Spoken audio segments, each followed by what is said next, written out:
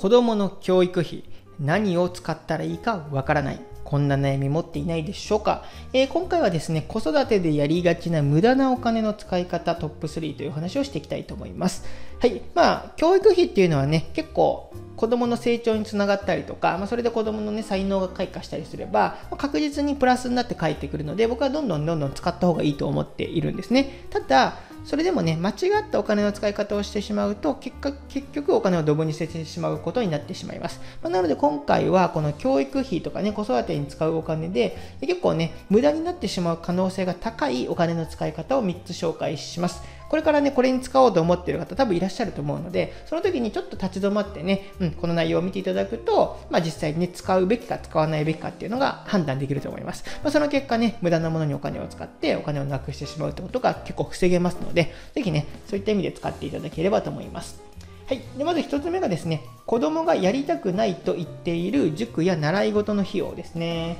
これどういうことかっていうと、えっと、子供がそもそもやりたいと言っているなら、僕は塾も習い事もどんどんやらせてあげた方がいいと思うんですよ。うん。なぜかというと、やりたいと言っているわけなので、気持ちが前向きなのでね、それだけ勉強頑張ろうと思っていたりとか、あとは、なんか習い事の能力を伸ばそうと思っているわけなので、これはやらせた方がいいと思うんです。ただ、良くないのがね、子供はやりたくないと思っているのに、なんか親の方がね、もう今更やめるのはもったいないから続けた方がいいと言って、えー、無理に続ける習い事とか、うん、あなたは塾に行かなかったらもう成績がひどいことになるから頑張っていきなさいと言って無理やり行かせるとかっていうのに使ってしまう方が結構いらっしゃいます。うん、でこれはですね、あの基本的にね、えっと、無駄になることが多いです。そもそも子供の気持ちが乗っていないので成績も上がらないですし、習い事もね、能力も伸びないです。だからお金も無駄になりますし、それにかけた時間も結構無駄になっちゃうので、うん、基本的にはやめた方がいいですね。だから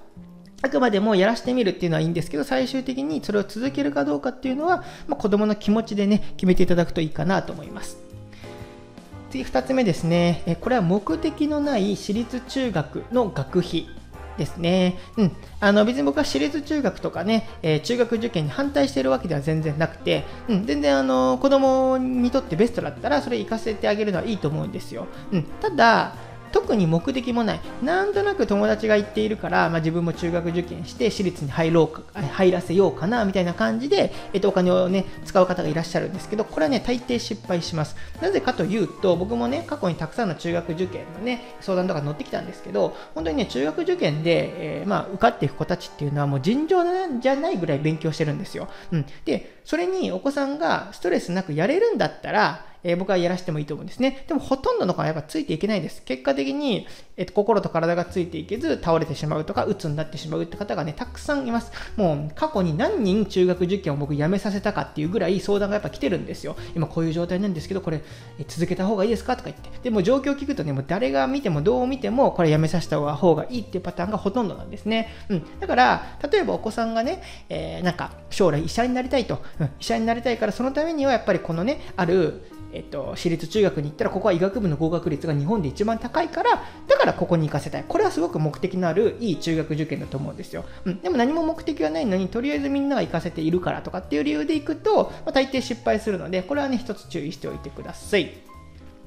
で最後3つ目ですね、え欲しいものを何でも買い与えるってやつですね、うん、これはもうね絶対やめてください。えまあ、本当にね、えっと、お金持ちの方が結構ね、やってしまいがちなことなんですけど、まあ、子供が欲しいと言ったら、まあ、とりあえず買ってあげようみたいな感じで買ってあげるとどうなるかっていうと、まあ、結局、子供はね、何でも買ってもらえるので、物の大切さがわからなくなりますよね。ねし、お願いすれば買ってもらえるわけなので、そもそも我慢しようっていう気持ちが育たなくなっちゃうんですよ。うん。で、結果的に、ただのわがままな子になってしまいます。うん。だから基本的になんかね、必要最低限のものを買ってあげるのはいいです。例えば、着る服とかね、うん。あいったものはいいですけど、あと友達となんか遊びに行くときに使うお金とか、お小遣いとかね、この辺は全然いいんですが、えっと、必要以上にお金をあげるっていうのをやめてください。で、子供に何かプレゼントを買うときは、それこそ誕生日とかクリスマスとかね、そういったイベントだけにした方が絶対いいかなと思います。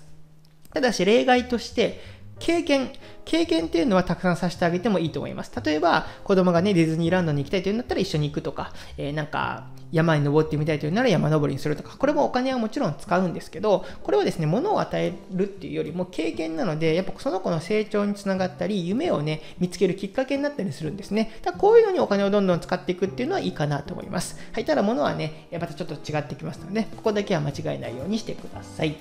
はい、ということで今回は子育てでやってしまいがちな無駄なお金の使い方についてお話ししました。はい、まあ、こういったようなお金をね、そもそも使うことを前提としてですね、やっぱ良好な親子関係、これがなかったら、うん、子供はね、もうなんかいろんなものくれみたいな感じで無駄にわがままになったりとかもやっぱしますので、まずはこの良好な横環境を作る上で、えー、この僕のね、配信している思春期の子育て無料講座、こちらよかったら参考にしていただければと思います。えー、これまでにですね、えー、5万人以上の方に読んでいただいて、え結構ね、不登校が解決したとか、うん、本当にすごく結果が出ている講座です。え動画の右上もしくは概要欄からね、え見れますので、よかったらこちらも参考にしてみてください。